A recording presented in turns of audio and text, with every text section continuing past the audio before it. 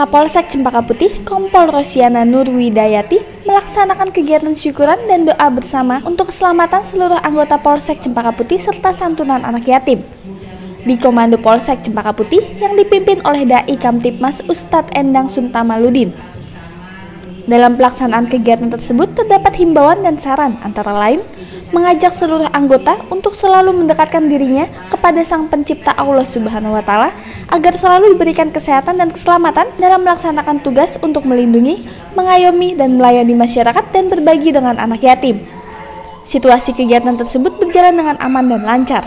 Dari Jakarta, tim liputan Tribrata TV, salam Tribrata.